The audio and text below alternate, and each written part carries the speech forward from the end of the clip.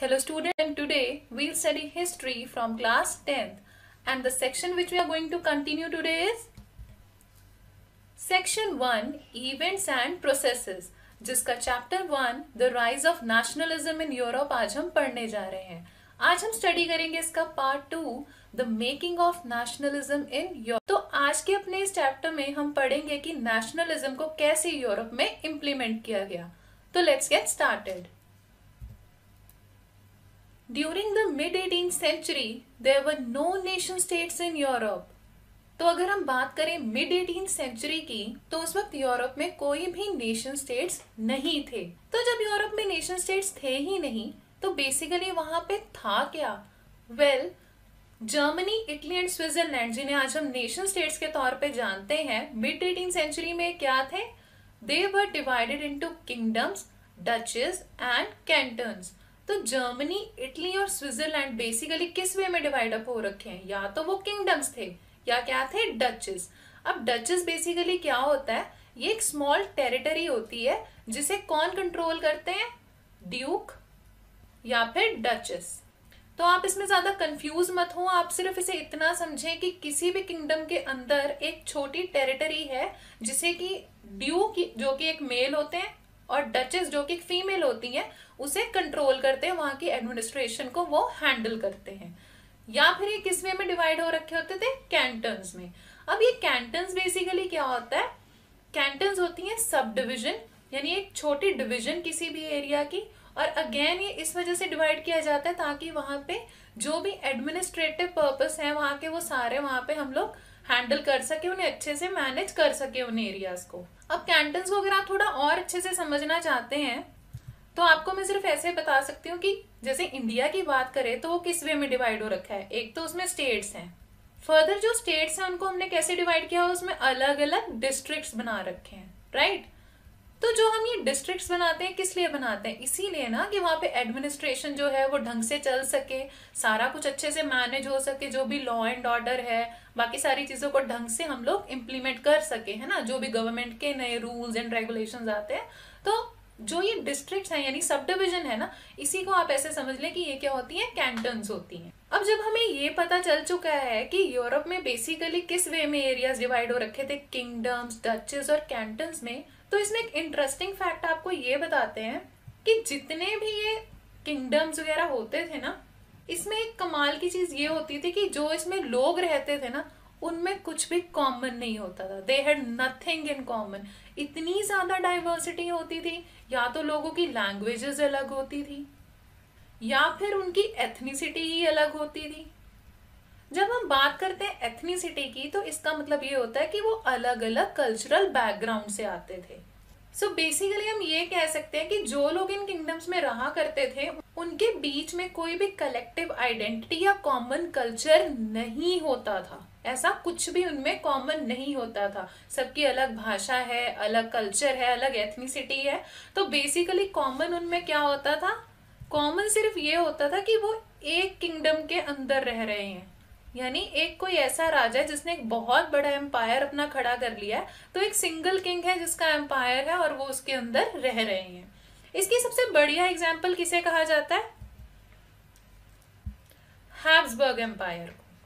अब Habsburg empire को इसलिए सबसे बढ़िया एग्ज़ाम्पल माना गया है क्योंकि एक ऐसा रीजन था जिसमें अलग अलग एरियाज़ कवर हो रहे थे अलग अलग भाषाएँ बोलने वाले लोग कवर हो रहे थे। कैसे?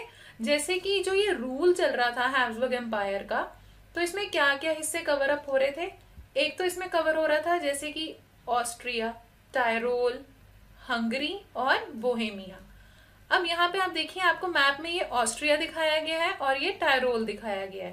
अब यहाँ पे जो लोग रह रहे हैं, अगर हम हंगरी को छोड़ दें तो बाकी लोग जो हैं, वहाँ पे क्या है, जो अरिस्टोक्रेट्स हैं, वो कौन सी भाषा बोलते थे? जर्मन लैंग्वेज जो हंगरी था, वहाँ पे magyar लैंग्वेज जो थी, वो बोली जाती थी। तो यानी आप क्या देख रहे हैं कि अलग अलग लैंग्वेज बोलने वाले लोग किसके अंडर आ रहे हैं? हैब्सबर्ग एम्पायर के अंडर आ रहे हैं। इसके अलावा इसमें और कौन से एरियाज़ इंक्लूड होते थे? लोम्बार्डी एंड वेनिशिया तो लोम्बार्डी और वेनिशिया की खासियत क्या थी? यहाँ के लोग इटालियन भाषा का प्रयोग करते थे। मैंने आपसे कहा ना कि ऐसा किंगडम जहाँ पे कि लोग अलग अलग भाषाएँ यूज़ कर रहे हैं अलग अलग एथनिक ग्रुप से तो वहाँ आप देख ही पा रहे हैं कि हैब्सबर्ग एम्पायर के अंदर ऐसे एरियाज़ आ रहे हैं जहाँ पे डिफरेंट भाषाओं का इस्तेमाल किया जा रहा है। ऑन द अदर हैंड इसमें और किस तरह के एरियाज़ आते थे? जैसे कि यहाँ पे आता था गैलीशिया गैलीशिया की खासियत ये थी कि यहाँ पे पॉलिश लैंग्वेज बोलने वाले ज़्यादा लोग थे। इसके अलावा, अगर हम नॉर्दर्न पार्ट की बात करें तो यहाँ पे कौन कौन थे? बोहेमियाज और स्लोवैक्स। अब ये एक अलग तरह का एथनिक ग्रुप है। तो यहाँ पे थे स्लोवैक्स और इस हिस्से में रह रहे थे बोहेमियाज। अब इनका जो कल्चरल बैकग्राउंड था ना, वो टोटली डिफरेंट था। जिन लोगों के बारे में हमने पढ़ा ना कि वो जर्मन भाषा बोल रहे हैं या कोई इटालियन लैंग्वेज बोल रहे हैं तो इन लोगों से इनका जो एथनिसिटी थी कल्चरल बैकग्राउंड था, वो बिल्कुल ही अलग था। इसके अलावा कौन आते थे? स्लोवेन्स स्लोवेन्स यहाँ जो ये कैरमियोला एरिया आप देख रहे हैं यहाँ पे रहा करते थे। और ये सब के सब जो है किसके अंडर आ रहे हैं? सब आ रहे हैं हैब्सबर्ग एम्पायर के अंडर। यानी किंग इनका एक ही है लेकिन लोग जो हैं वो अलग अलग हैं। अगर बात करें कि और किस तरह के एथनिक ग्रुप्स इस एम्पायर के अंडर आते थे? वेल well, अब जैसे साउथ में थे क्रोड्स तो ये जो आप पार्ट देख रहे हैं यहाँ पे कौन रह रहे थे? क्रोड्स और ईस्ट ट्रांसिल्वेनिया में यानी इस तरफ़ कौन रह रहे थे? रोमांस तो अब ये देखिए कि जैसा कि मैंने आपसे कहा कि किंगडम्स थे, पहली बात नेशन स्टेट तो था ही नहीं। दूसरा किंगडम्स में भी क्या खासियत नज़र आ रही है? अलग अलग लैंग्वेज अलग अलग एथनिसिटी ग्रुप वाले लोग हैं, बस कॉमन आइडेंटिटी तो उनमें कुछ थी नहीं। एक ही चीज़ जो सिंगल थी वो ये थी कि एक किंग होता था जो इन सब पे राज करता था। तो अब जब इतनी सारी डाइवर्सिटी थी इन किंगडम्स के अंदर और इतने सारे किंगडम्स थे तो हमारे पास एक क्वेश्चन जो यहाँ पे आता है, वो क्या आता है? How did nationalism and the idea of a nation emerge जब हम सबको ये पता ही है कि हमारे पास अलग अलग किंगडम्स हो रखे हैं यूरोप में अलग अलग लोग रह रहे हैं, और डाइवर्सिटी इतनी ज़्यादा है कि उनमें कुछ भी कॉमन निकल के आ ही नहीं रहा तो बेसिकली ये जो आइडिया था नेशनलिज्म का कि हमें ये कंसेप्ट लेके आना है, वो भी यूरोप में, ये बेसिकली आया कैसे? उसे समझने के लिए हमें समझना पड़ेगा सबसे पहले, वहाँ की जो सोसाइटी थी, वो किस तरह की थी? वहाँ पे जो सोशल ग्रुप्स थे, वो किस तरह के थे? और उनकी प्रॉब्लम्स क्या थी? So what were the types of social groups and their issues किस तरह के सोशल ग्रुप्स और उनके क्या क्या इश्यूज़ थे, ये भी समझ लेते हैं। Well the society was divided into aristocrats and peasants aristocrats हम कहते हैं रिच क्लास लोगों को। और पेजेंट्स कहते हैं उन लोगों को जिसमें कि लेबर्स आ जाते हैं या कोई भी ऐसे नॉर्मल कल्टीवेटर्स वगैरह आ जाते हैं। तो जो यूरोप की सोसाइटी है किस वे में डिवाइड हो रखी है? या तो वो लोग हैं अरिस्टोक्रेट्स या फिर क्या है? पेजेंट्स हैं। अब अगर बात करें अरिस्टोक्रेट्स की तो aristocrats were the rich dominating class of Europe they owned large estates तो अरिस्टोक्रेट्स क्या थे? रिच थे, उनका एक अपना प्रभाव था, यानी डोमिनेटिंग थे, प्रभाव था उनका पूरे यूरोप पे, और इनके पास ज़मीन जायदाद भी बहुत ज़्यादा होती थी। ये लोग जो होते थे they spoke French and their families often had matrimonial alliances अब आप यहाँ पे क्वेश्चन पूछेंगे कि ये फ्रेंच भाषा का क्यों इस्तेमाल कर रहे हैं? ज़रूरी तो नहीं कि सब फ्रांस के रहने वाले हैं, पर भाषा का क्या इस्तेमाल कर रहे हैं? फ्रेंच का। देखिए, जैसे इंडिया में क्या सिस्टम है? ज़्यादातर हम ये मान के चलते कि if a person can speak in English वो भी फ्लुएंटली बात कर पा रहा है तो हमारे एक इम्प्रेशन बनता है ना कि हाँ he must be educated he must be from aristocrat class तो उस वक्त भी एक इम्प्रेशन होता था कि लोग क्या करते थे? फ्रेंच लैंग्वेज का ज़्यादा यूज़ करते थे। और अरिस्टोक्रेट फैमिलीज़ यानी रिच फैमिलीज़ में अलायंसेस भी होते थे। यानी उनके बीच में आप कह सकते हैं फैमिली रिलेशंस भी होते थे। उसके पीछे वजह क्या होती थी कि कोई ना कोई कॉमन रिश्तेदार ऐसा होता था जिसकी एक दूसरे फैमिली में शादी हो रखी होती थी। अब, एक चीज़ जो कमाल की थी, हालाँकि ये रिच जो क्लास थी, ये डोमिनेट कर रही है पूरे यूरोप पे। वहाँ की जो सोसाइटी है, उस पर डोमिनेट कर रही है, उनका प्रभाव है। लेकिन ये होते थे स्मॉल इन नंबर मतलब ऐसी बहुत फ्यू फैमिलीज़ थी जो कि अरिस्टोक्रेट्स थे। तो लार्ज नंबर ऑफ़ फैमिलीज़ कौन सी थी यूरोप में? A majority of the population was made up of the peasantry तो जो पीजेंट ग्रुप्स थे ना, यही सबसे ज़्यादा लार्ज नंबर में थे वहाँ पे। तो यहाँ पे हमें दो चीज़ें समझ आ गई हैं। पहला, कि दो तरह की सोसाइटी है। एक तो है अरिस्टोक्रेट्स दूसरे कौन से हैं? पेजेंट्स अब इन ग्रुप्स में जो अरिस्टोक्रेट है, ये स्मॉल इन नंबर है, लेकिन पीजेंट क्या है? लार्ज इन नंबर लेकिन प्रभाव सबसे ज़्यादा किसका है? अरिस्टोक्रेट्स का। और ये जो पीजेंट्स होते थे, इनको भी अगर मैं आगे कैटेगराइज करूँ तो किस वे में कैटेगराइज कर सकते हैं? वेस्टर्न पार्ट की अगर बात करें, जो वेस्टर्न पार्ट था यूरोप का तो west land was found by tenants small owners तो जो वेस्टर्न पार्ट है, वहाँ पे जो फार्मर्स है, वो कौन है? किराएदार है या छोटे मोटे ओनर्स यानी छोटी मोटी लैंड ही उनके अंडर है। और अगर ईस्ट और सेंट्रल यूरोप की बात करूँ the land was farm by serfs ये जो सर्फ डोम था, ये पूरा एक इनका सिस्टम था जिसके अंदर आप सर्फ्स रखते थे, यानी एक तरह से वो बॉन्डेड लेबर्स आप कह सकते हैं, हुआ करते थे। तो यहाँ पे आपको ये समझ आया है कि जो पीजेंट है वो किस वे में, या तो वो टेनेंट्स के तौर पे काम कर रहे हैं, या सर्व्स के तौर पे काम कर रहे हैं। अब जब ये सोसाइटी दो ग्रुप्स में बटी हुई थी और मिड एटीन सेंचुरी चल रही थी, उस दौरान ना कुछ चीज़ें चेंज भी हो रही थी। तो जैसे जैसे नाइनटीन सेंचुरी आती जा रही थी, यूरोप में कुछ अलग तरह की इम्प्रूवमेंट्स हो रही थी। वहाँ पे कुछ इकोनॉमिक और पॉलिटिकल चेंजेस आ रहे थे। वहाँ पे इंडस्ट्रियलाइजेशन भी आ रहा था। तो वो क्या चीज़ें हो रही थी? चलिए उसके बारे में भी समझते हैं। Industrial growth in western and central Europe led to the growth of towns and emergence of a new commercial class. तो क्या चीज़ होनी शुरू होगी? जो वेस्टर्न यूरोप था, वहाँ पे इंडस्ट्रियल ग्रोथ भी आ गई। सेंट्रल यूरोप में भी क्या हो गया इंडस्ट्रियल ग्रोथ आ गई यानी अलग अलग इंडस्ट्री सेटअप होने लग गई नए नए बिज़नेस खुलने लग गए। और जब नई इंडस्ट्रीज़ और नए बिज़नेस बने तो साथ ही साथ नए शहर भी बनने लग गए। और इस सब के साथ एक नई क्लास जो थी, वो हमारे सोशल सिस्टम में आके जुड़ गई। वो क्लास कौन सी थी? कमर्शियल क्लास अब तक सिर्फ़ दो ग्रुप्स थे ना सोसाइटी में अरिस्टोक्रेट्स थे और पीजेंट्स थे। अब क्या हो गया? अब तीन ग्रुप्स बन गए अब एक कमर्शियल क्लास भी आ गई है। तो अब जब हमें पता है कि सोसाइटी कैसी हो गई है तीन ग्रुप्स में बढ़ गई है तो अब हम बात करेंगे कि इनके इश्यूज़ क्या थे। ऐसी क्या समस्याएँ थी जिसकी वजह से फिर ये नेशनलिज्म की ओर बढ़े। वेल well, जो ये कमर्शियल क्लास थी ना इसमें बेसिकली किस तरह के लोग हुआ करते थे? वर्किंग क्लास पॉपुलेशन हुआ करती थी मिडिल क्लास की जिनमें कुछ इंडस्ट्रियलिस्ट भी होते थे बिजनेसमैन होते थे। और साथ ही प्रोफेशनल्स भी होते थे। अब ये जब एक नई क्लास आ गई तो इनके अपने कुछ इश्यूज़ भी अराइज हो गए। और जैसे इनके इश्यूज़ अराइज होते गए तो इन्होंने क्या करना शुरू किया? The educated liberal middle class started demanding liberal nationalism इन्होंने क्या कहा कि हमें क्या चाहिए? लिबरल नेशनलिज्म चाहिए। अब इनकी डिमांड तो हमें पता चल गई कि इन्हें चाहिए क्या है? लिबरल नेशनलिज्म पर ये लिबरल नेशनलिज्म आखिर होता क्या है? वेल well, अगर बात करें मिडिल क्लास की सो so उनके लिए what did liberal nationalism stand for well it was freedom for the individual equality before law and right to property तो इन्हें क्या क्या चाहिए? एक कि हर इंडिविजुअल की फ्रीडम हो।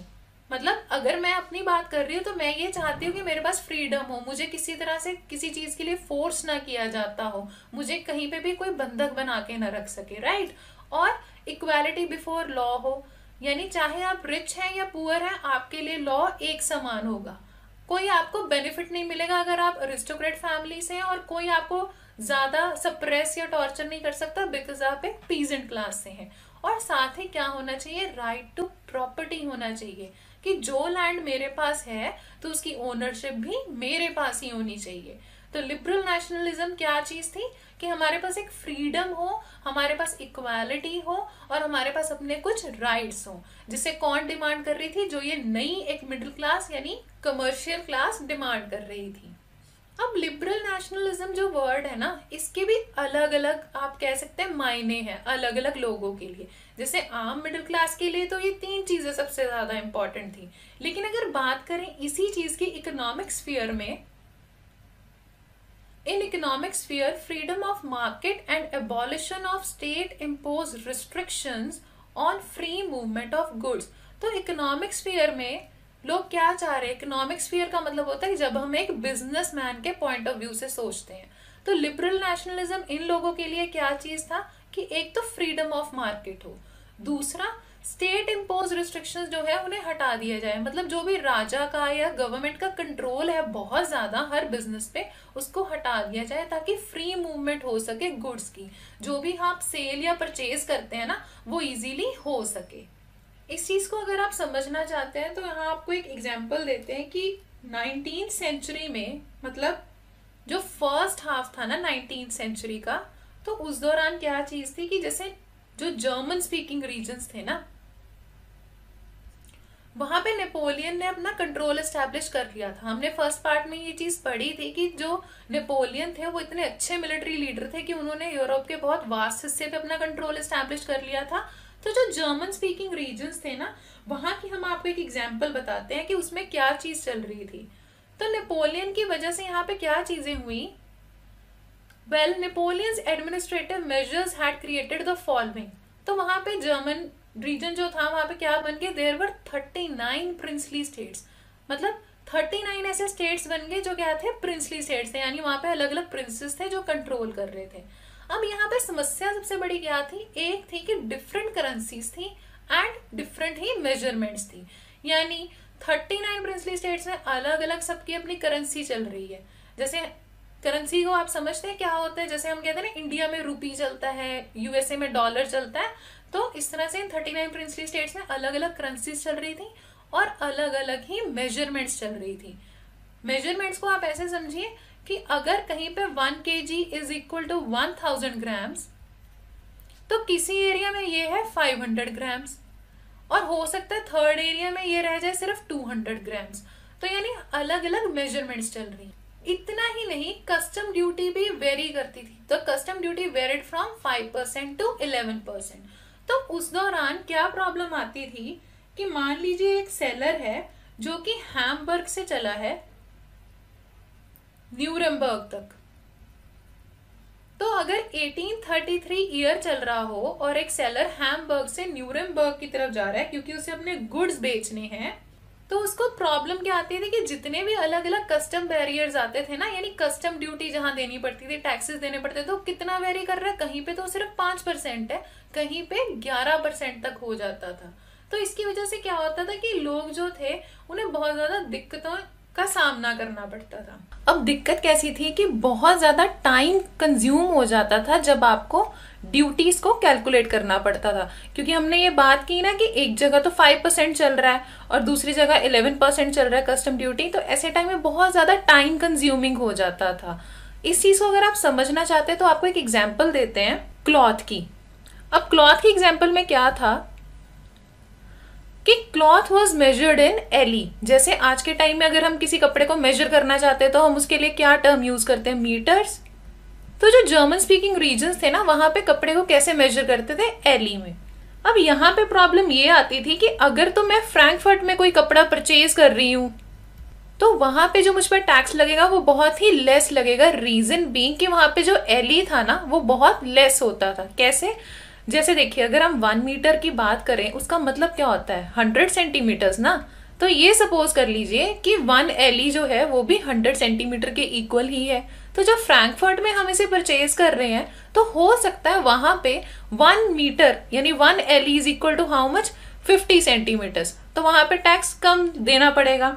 ऑन द अदर हैंड अगर यही कपड़ा हम न्यूरमबर्ग में परचेज कर रहे हैं तो वहाँ पे जो एली था, उसकी मेज़रमेंट ज़्यादा थी। अगेन हम ये सोच लेते कि वहाँ पे हंड्रेड सेंटीमीटर था। तो वहाँ पे टैक्स जो था, वो बहुत ज़्यादा देना पड़ता था। तो इस वजह से सिचुएशन ये होती थी कि हमें बार बार टैक्स कैलकुलेट करना पड़ता था। और बार बार टैक्स कैलकुलेट करने से क्या होता था? A lot of time was wasted on calculating duty तो इस तरह की सिचुएशन से बचने के लिए लोगों ने क्या कहा? Well the demanded of what the demand of unified economic territory उन्होंने कहा कि आप एक यूनिफिकेशन कर दीजिए पूरे इकोनॉमिक टेरिटरी का। अब तय कर दीजिए कि पर्टिकुलर हमारे मेजरमेंट्स होंगे पर्टिकुलर हमारे टैक्सेस होंगे सो so दैट बहुत ज़्यादा टाइम हमारा वेस्ट ना हो। तो इस सब डिमांड की वजह से क्या चीज़ हुई?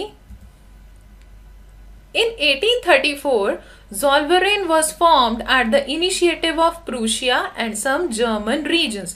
अब प्रूशिया जो है ये है तो जर्मन रीजन में ही लेकिन एक बहुत ही मेजर आप कह सकते हैं एक एरिया था। वहाँ का एक बहुत ही इंपॉर्टेंट एरिया था। और आगे जो हम चैप्टर्स पढ़ते जाएँगे तो उसमें हम जानेंगे कि प्रूशिया ने एक बहुत ही इंपॉर्टेंट रोल भी प्ले किया था जर्मन हिस्ट्री में। तो वेल well, वापस आते 1834 पे। तो इन्होंने क्या कहा है? अब लोगों ने कि उन्हें जॉल्वरिन जो है वो बना देनी चाहिए। जॉल्वरिन क्या होता है? कस्टम यूनियन तो बेसिकली जो ट्रेडर्स थे वो क्या चाह रहे थे कि एक कस्टम यूनियन होनी चाहिए जहाँ पे कि कुछ फिक्स रेट्स होने चाहिए टैक्सेस के और कुछ फिक्स मेजरमेंट्स होनी चाहिए सो so दैट जब भी कोई ट्रेडर अपना प्रोडक्ट लेके कहीं पे जा रहा है सेल या परचेज करने के लिए तो उसे किसी भी तरह की बार बार की कैलकुलेशन और टाइम वेस्टेज से उसको छुटकारा मिल सके। तो जब जॉल्वरिन फॉर्म अप हुए तो उसका फ़ायदा क्या हुआ? Well tariff barriers were abolished अब जितने भी टेरिफ बैरियर्स हैं, यानी जहाँ पे भी आपको हर प्लेस पे, हर सिटी पे एक जगह टैक्स पे ऑफ़ करना पड़ता था, वैसा नहीं रहा। और reduced currencies from thirty to two जैसे कि हमने पहले स्टार्टिंग में पढ़ा क्या था कि 39 प्रिंसली स्टेट्स है और बहुत सारे उनके करेंसीज भी थे। तो 30 तरह की करेंसीज थी जिसे उन्होंने क्या कर दिया? रिड्यूस कर दिया। और अब सिर्फ़ दो ही करेंसीज रह गई। नेक्स्ट उन्होंने क्या किया? क्रिएशन ऑफ़ रेलवे नेटवर्क अब, जितना ज़्यादा बढ़िया रेलवे नेटवर्क होगा, जितना बढ़िया ट्रांसपोर्टेशन होगा किसी भी जगह में, वहाँ पे क्या होता है, गुड्स की मूवमेंट हो, चाहे चाहे लोगों की मूवमेंट हो, वो बहुत ही स्मूथ रहती है। तो इस वजह से ये ट्रेडर्स के लिए बहुत ही बेनिफिशियल प्रूव हुआ, क्योंकि अब उनके जो गुड्स थे, वो इजीली मूव कर सकते थे। अब, ना सिर्फ़ गुड्स मूव कर सकते थे रेलवे की वजह से, बल्कि जो लोग थे, वो भी इजीली मूव कर पा रहे थे, जिसकी वजह से वो एक दूसरे के क्लोज आ रहे थे। और इस क्लोज आने की वजह से एक चीज़ जो कमाल की हो रही थी वो ये थी कि नेशनल यूनिफिकेशन की तरफ़ लोगों का जो ध्यान था जो रुझान था वो बढ़ता जा रहा था। सब आगे और क्या हुआ? Well while various changes were occurring in Europe, a new thing happened that again turned Europe towards conservatism. कहा तो हमने ये बात की कि अब लोग क्या कह रहे हैं? वो चाह रहे हैं कि आप रिफॉर्म्स लाइए कस्टम यूनियंस बनाइए, लोगों को राइट्स दीजिए, उनके इक्वालिटी होनी चाहिए लॉ के सामने और उनके फ्रीडम के लिए भी वो डिमांड कर रहे हैं। कितना कुछ वो अपने लिए रिफॉर्म्स जो है वो उसकी उम्मीद कर रहे हैं डिमांड कर रहे हैं। बट इन सब चीज़ों के बीच में जहाँ की सब कुछ अच्छा भी हो रहा था, बढ़िया चेंजेस भी आ रहे थे अगेन कुछ ऐसा हो गया कि जहाँ लोग जा रहे थे, किस तरफ़ जाना? लिबरलिज्म की तरफ़ जाना। यूरोप कहाँ पे टर्न कर गया? कंजर्वेटिज्म की तरफ़। तो आखिर ये सब चीज़ें हुई क्यों? वेल well, ये सब हुआ था because of the fall of Napoleon in 1815 अब नेपोलियन बोनापार्ट जिन्हें आप इस इमेज में देख रहे हैं, हमने इनके बारे में फ़र्स्ट पार्ट में ये पढ़ा था कि इन्होंने क्या किया था? इन्होंने यूरोप के बहुत ही मेजर हिस्से पे अपना कंट्रोल स्टैब्लिश कर लिया था। एंड नॉट ओनली दिस इन्होंने बहुत अच्छे रिफॉर्म्स भी लेके आए थे, जिसकी वजह से काफ़ी बेहतरी भी हुई थी। बट 1815 में इन्होंने एक युद्ध लड़ा। वो युद्ध इन्होंने लड़ा था वाटरलू में। तो वहाँ पे क्या हुआ? Napoleon lost the battle of Waterloo और ये जो वाटरलू में इनका युद्ध हुआ था इनके साथ हुआ था? With the combined forces of Britain and Prussia तो जब ये ब्रिटेन और प्रूशिया एक तरफ़ हो गए तो नेपोलियन को हराना इनके लिए ज़्यादा मुश्किल नहीं रहा और फाइनली नेपोलियन की हार हुई कहाँ पे? वाटरलू में। तो इसके बाद जो बाकी के राजा थे उन्होंने ये डिसाइड किया कि हम कंजर्वेटिज्म को वापस से लेके आएँगे। सो so, The conservatives wanted to strengthen the traditional institution with some modernization. तो अगर ट्रेडिशनल इंस्टीट्यूशन की बात करें, पहले अगर कंजर्वेटिज्म की बात करें, उसमें क्या चीज़ होती थी? किंग का रूल होता था। प्लस उसमें किस तरह की चीज़ें हुआ करती थी कि आप एक तो चर्च को जो थे इंपॉर्टेंस मिलती थी, यानी जो क्लर्गी होती थी, उनको इंपॉर्टेंस मिलती थी, है ना? नेक्स्ट क्या होता था? किंग ऑब्वियसली एक इम्पोर्टेंट पर्सन होता था। और जितने भी उनके पुराने सिस्टम थे ना, कि अरिस्टोक्रेसी होगी, एक उनकी डोमिनेंस होगी क्लर्गी की अपनी डोमिनेंस होगी, और किंग की भी अपने एक प्रभाव होगा, एक डोमिनेंस होगी। तो ये क्या चाह रहे थे? वापस से हम उसी चीज़ को यूरोप में लेके आएँगे। बट इन्होंने एक चीज़ ये भी सोची कि हम थोड़ा बहुत मॉडर्नाइजेशन करेंगे, यानी थोड़े बहुत ऐसे रिफॉर्म्स रखेंगे सो so दैट जो लोग यहाँ पे यूरोप में रह रहे हैं, उन्हें बहुत ज़्यादा परेशानी ना हो प्लस वो कंजर्वेटिज्म को फेवर करने लग जाएँ। तो उसके लिए एक तो उन्होंने मॉडर्नाइज किया आर्मी को। वेल well, यहाँ मॉडर्नाइज आर्मी को उन्होंने इसलिए किया सो so दैट जब भी उन्हें कभी ऐसा लगे कि उनके खिलाफ कोई विद्रोह खड़ा हो रहा है तो वो उस चीज़ को कर्व डाउन कर सके। सेकेंड वॉज़ एफिशिएंट ब्यूरोक्रेसी अब उन्होंने ये कहा कि हम एक अच्छी एडमिनिस्ट्रेशन चलाएँगे ताकि लोगों को ज़्यादा दिक्कत ना हो। उसके लिए उन्होंने एक बढ़िया ब्यूरोक्रेसी तैयार की। Third what they did was abolition of feudalism and serfdom अब ये फ्यूडलिज्म और सर्फडोम एक ऐसा कंसेप्ट था जिसकी वजह से जो पेजेंट क्लास थी, जो आम जनता थी, उन्हें बहुत दिक्कतों का सामना करना पड़ता था। जैसे कि अगर बात करें, इसमें क्या चीज़ होती थी कि जो किंग होता था, वो लैंड जो था, वो किसको दिया करता था? लॉर्ड को। और लॉर्ड को लैंड इस वजह से दिया जाता था कि जब कभी किंग को ज़रूरत पड़े तो लॉर्ड अपनी पर्सनल आर्मी किंग को प्रोवाइड करे किसी भी युद्ध में जाने के लिए। लॉर्ड, ये फाइनली लैंड जो था, ये सर्फ्स को दे दिया करता था। रेंट पे, और जो रेंट होता था, वो इतना ज़्यादा होता था कि कई बार उसको पे ऑफ़ करना बहुत ज़्यादा मुश्किल हो जाता था। तो इस तरह की जो एक कह सकते बुरी प्रथाएँ थी, उनको यूरोप में खत्म कर दिया गया किनके द्वारा? कंजर्वेटिव के द्वारा। अब अपने इस कंजर्वेटिज्म व्यू पॉइंट के साथ ये लोगों ने कहा पे मुलाकात की? वियना में।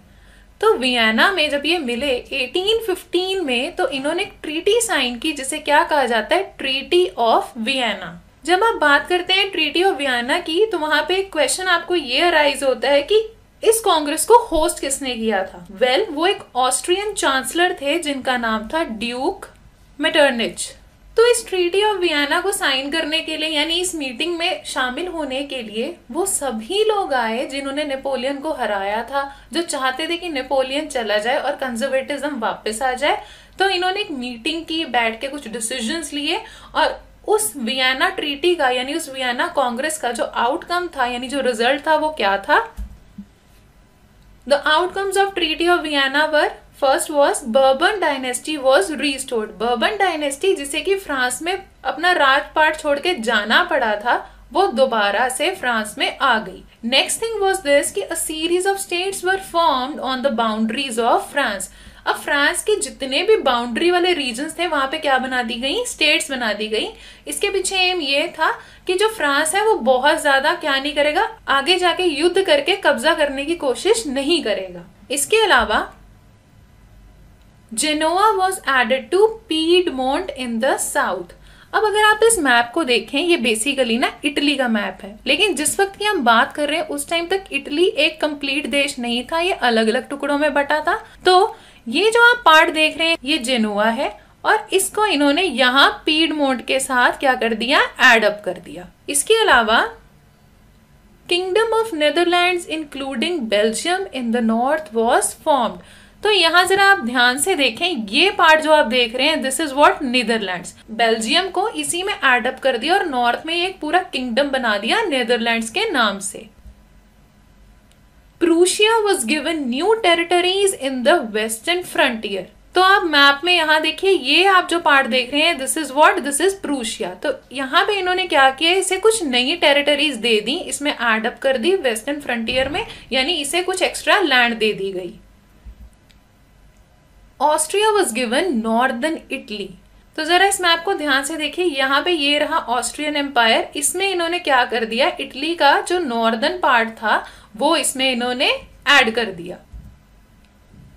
Germany and confederation of thirty nine states was left untouched तो यहाँ पे देखिए जो जर्मन कन्फेडरेशन था, जिसके बारे में हमने पढ़ा था कि थर्टी नाइन स्टेट्स थी उसको वैसे का वैसा छोड़ दिया गया। उसमें इन्होंने ना तो कुछ ऐड किया, ना ही वहाँ से कोई लैंड किसी और को माइनस करके किसी और के नाम पे की गई। तो इन्होंने अब क्या किया? इन्होंने बेसिकली जो लैंड है उसका बंटवारा किया है कि इन्होंने यूरोपियन पावर्स ने जो कंजर्वेटिव थे उन्होंने। इसके अलावा what they did was Russia was given a part of Poland and Prussia was given Saxony तो यहाँ देखिए जो रशिया है, इसको इन्होंने ये पोलैंड दे दिया और ये रहा आपका प्रूशिया इसमें इन्होंने सेक्सोनी को भी ऐड कर दिया। अब हमें ये तो पता चल गया कि वियना में एक मीटिंग हुई। जिसके कुछ आउटकम्स आए और आउटकम्स में बेसिकली हो क्या रहा है कि यूरोप में जितनी भी ज़मीन है, उसको अलग अलग पावर्स जो है, बांट रहे हैं अपने हिसाब से, जहाँ उनको लगता है कि उनको कंट्रोल एस्टेब्लिश करना चाहिए, जहाँ उन्हें कुछ वहाँ से प्रॉफिट्स या कुछ इनकम्स अर्न होने को मिल सकती है तो उन्होंने इस हिसाब से उस चीज़ को बांट लिया है। कुछ जो राजा यहाँ से हट चुके थे यूरोप से, वो वापस से अपनी गद्दी पे आ गए हैं। और जब ये सब हो गया और कंजर्वेटिव्स दोबारा से आ गए यूरोप में उसके बाद जो वहाँ का रिजीम था कंजर्वेटिव्स का वो किस तरह का था? इसके बारे में भी समझ लेते हैं। वेल well, अगर कंजर्वेटिव रिजीम की बात की जाए तो किस तरह का था? इट वॉज़ ऑटोक्रेटिक अब जब हम बात करते हैं ऑटोक्रेटिक की तो आप इसे ये समझ लीजिए कि यहाँ पे किसी और इंसान की इच्छा का कुछ भी मान नहीं किया जाता। जैसे कि आपने एक वर्ड सुना होगा तानाशाह या डिक्टेटरशिप उसमें क्या होता है? जो एक सिंगल आपका रूलर है वही सारे बड़े फैसले लेता है। अब अगर उसके किसी गलत फैसले की वजह से किसी को नुकसान हो जाए, तब भी वो उस फैसले को नहीं पलटता। तो एक आप कह सकते हैं कि ऑटोक्रेटिक टाइप का रिजीम जो था यहाँ पे वापस से आ गया था। Censorship laws on newspapers magazines अब यहाँ पे क्या समस्या आ गई कि अगर कोई राइटर किसी न्यूज़पेपर या किसी मैगजीन के थ्रू ये कहना चाहता है कि अब जो नया कंजर्वेटिव रजीम है, वो गलत आ गया है या उसके कुछ नेगेटिव पॉइंट्स बताना चाहता है तो ऐसा ना हो, इस पर्पज़ के लिए उन्होंने सेंसरशिप लगा दिया। यानी कि कंट्रोल कर दिया कि किसी भी न्यूज़पेपर या मैगजीन में जो कंजर्वेटिज्म हमारा यहाँ पे चल रहा है अब यूरोप में, उसके खिलाफ आप नहीं लिख सकते। कर्ब्ड रेवोल्यूशनरी एक्टिविटीज़ पास्ट में हमने ये देखा था यूरोप में कि बहुत से रेवोल्यूशनरीज जो थे, उन्होंने क्या करना शुरू कर दिया था? डिमांड करना शुरू कर दिया था ना किस चीज़ के लिए कि लिबरलिज्म ले आइए फ्रीडम ले आइए। पर अब ताकि दोबारा ऐसी सिचुएशन ना हो, दोबारा किसी राजा का तख्ता पलट ना हो, जैसे कि फ्रांस में हो गया था तो इसके लिए हर रेवोल्यूशनरी एक्टिविटी को खत्म करने की कोशिश की जाने लगी। तो अब जब कंजर्वेटिव्स इतने खिलाफ हो गए थे रेवोल्यूशनरीज के तो उस दौरान रेवोल्यूशनरीज ने क्या करना शुरू किया? तो चलिए बात करते हैं रेवोल्यूशनरीज के बारे में। Well, after 1815, the revolutionaries started forming secret societies to spread the idea of liberty and nationalism. तो बेसिकली 1815 के बाद में क्या होने लगा? जितने भी क्रांतिकारी लोग थे इन्होंने क्या किया? इन्होंने अपनी कुछ सीक्रेट सोसाइटीज बना ली। यानी गुपचुप तरीके से अपनी कुछ सोसाइटीज बनाने लगे और जिसमें ये क्या करते थे? बढ़ावा देते थे किस तरह का? कि एक संदेश लेके आते थे लोगों के सामने कि आप लिबर्टी और नेशनलिज्म अपने एरियाज़ में, अपने देशों में वापस लेके आइए क्योंकि हमें कंजर्वेटिज्म नहीं चाहिए, क्योंकि ये बहुत ही ऑप्रेसिव है ऑटोक्रेटिक है और हमारे लिए अच्छा नहीं है। बेसिकली ये जो रेवोल्यूशनरीज होते थे चाहते क्या थे कि एक तो हमें नेशन स्टेट बनाना है, दूसरा जितना भी मोनार्कियल सिस्टम है, उसे हमें पूरी तरह से खत्म कर देना है। तो इस तरह के रेवोल्यूशनरीज में एक बहुत ही इंपॉर्टेंट रेवोल्यूशनरी हुए इटली में, जिनका नाम क्या था? जोजेपे मजीनी तो अब आप जिन्हें यहाँ इमेज में देख रहे हैं, ये कौन है? ये है जोजेपे मजीनी और ये बहुत ही इंपॉर्टेंट रेवोल्यूशनरी हुए हैं इटली में. He was born in Genova in 1807 तो इनका जन्म कहाँ पे होता है? जेनोवा नाम की एक जगह है जो इटली में पड़ती है. तो 1807 में इनका वहाँ पे जन्म हुआ. He was member of secret society Carbonari अब जैसे रेवोल्यूशनरीज के बारे में हमने पढ़ा कि वो बहुत सारी सीक्रेट सोसाइटीज बना रहे थे, उसी तरह एक सीक्रेट सोसाइटी थी कार्बोनारी जिसके ये मेंबर थे। अब क्योंकि जोसेफ मजीनी एक बहुत ही इंपॉर्टेंट रेवोल्यूशनरी थे और इन्होंने बहुत ऐसे मेजर अटेम्प्ट्स भी किए थे किस चीज़ के लिए?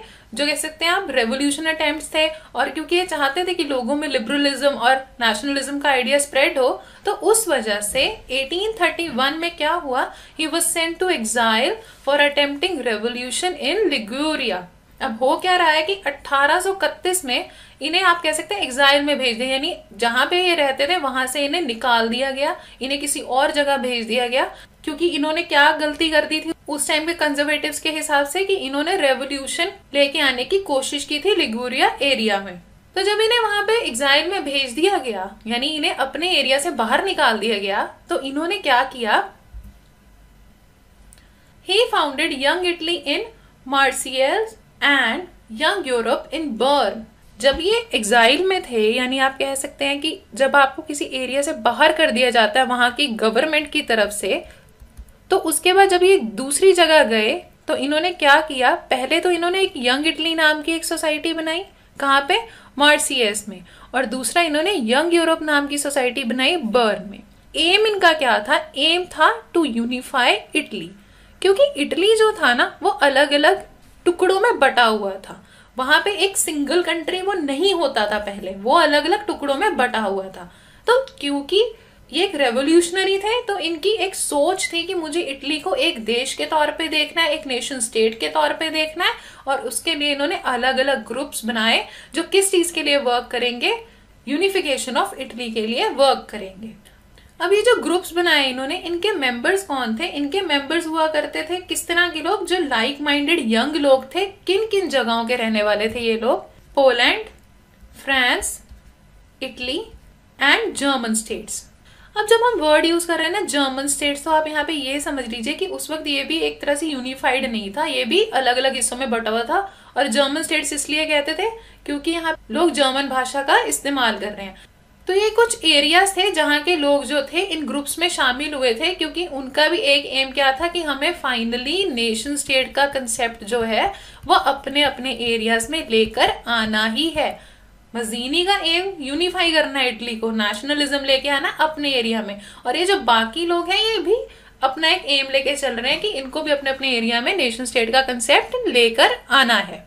So following him secret societies were formed in Germany France Switzerland and Poland Mazzini के साथ भी कुछ लोग जुड़े हैं और अपने अपने एरियाज़ में भी, यानी कि जर्मनी फ्रांस स्विट्जरलैंड और पोलैंड में भी लोग अपनी अपनी सीक्रेट सोसाइटीज बनाने लगे।